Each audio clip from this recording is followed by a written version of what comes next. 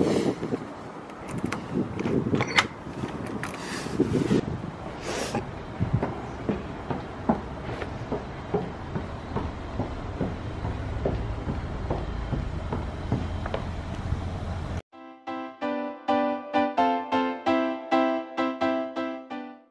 morning, it's Friday and I did not finish my vlog yesterday.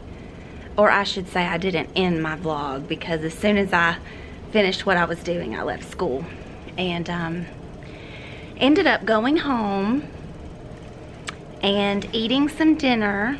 I made chicken and while the chicken was cooking I cleaned the kitchen because it was a wreck and then I ate my chicken and watched a couple of episodes of Grace and Frankie or Frankie and Grace, I'm not sure. Frankie and Grace, I think. It is so funny, y'all. If you haven't watched that on Netflix, you need to watch it. It's hilarious. So I watched a couple of episodes of that and then I was in the bed by 8.30. And we had a two hour delay this morning because we got some frozen rain, I guess, last night. Some counties like nearby got some snow and we just got some rain and it was really cold so it froze and had some black ice and all that mess. So I am at school. It is 8.30. I need to put my newsletter in my Friday folders because I haven't done that yet. Actually, my assistant might be able to do that today. Um, I need to I need to make some copies and I might just start putting things in my plan book for next week. So I'm gonna go do that. My kids should be here in an hour, so I have about an hour to work. And I'll see you guys later. I just went through the lunch line to help my kids. They're at lunch right now. And they have um, spaghetti and a roll. And the roll has like herbs on it. Like, I don't know what's on it. Parsley or something. And um, they don't usually have anything on them. They're usually just, you know, plain rolls. And one of my students was like, Miss Edwards, why is there grass on the roll? And I just burst out laughing and I was like, it's not grass. They're not gonna make you eat grass. It's herbs. It was funny though. But um, I am in the room. I had my kids work on the FireCat this morning, some vocabulary and some nouns and then story elements like character setting and plot. I don't know what is going on with them, but they have been super lazy today. Like, they're spelling words that are in the book wrong because they don't want to look in the book. They just want to spell it however they think it's spelled. And they're not restating the sentences. They're just listing the answers. So I've had uh, several kids who have come to me and wanted me to check it that I've sent back to work on it because they're just being lazy and they're not gonna, you know, I'm not gonna accept lazy work. So when we get back from lunch today, my kids are going to work on mailbox work because I have seven kids absent today. I'm assuming it's because of the two hour delay and ice and snow, but seven kids absent, so I'm not gonna continue with my sound unit that I started yesterday. I'm just gonna let them get caught up on some work. And then they have STEM lab today, and while they're in STEM lab, I'm going to stuff my Friday folders because I haven't had a chance to do that yet. And my assistant is not here today.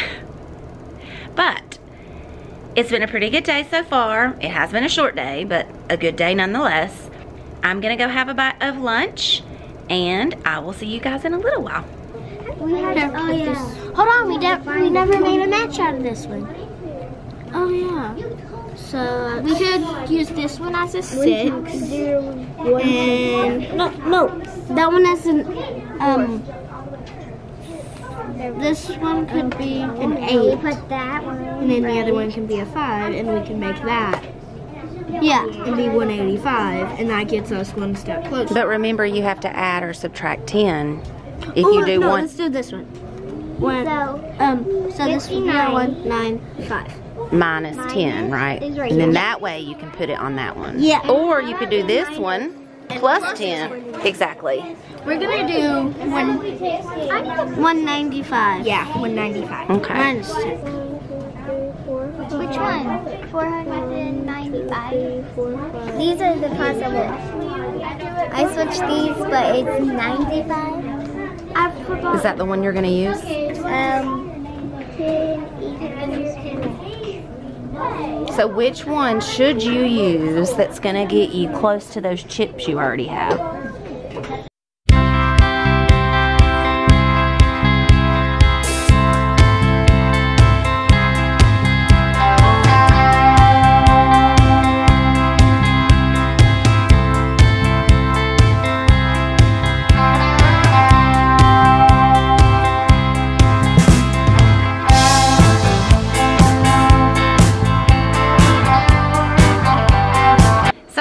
Meeting after school today to discuss how our tutoring is gonna go next week.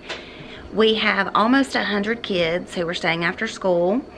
And so all the teachers who are actually doing the tutoring met and decided how we're gonna get the kids in the rooms and afternoon duties and different things like that. So I got back to my room about 3.30 and I have planned everything for next week I still need to make a few copies for Monday, but I think I'm going to wait and do that Monday morning because um, our copy machine's broken and I don't want to go upstairs and do it today. Paisley is here. She's sorting some papers for me. My kids put their papers in the purple basket, and so she's sorting them. How's it going? Good.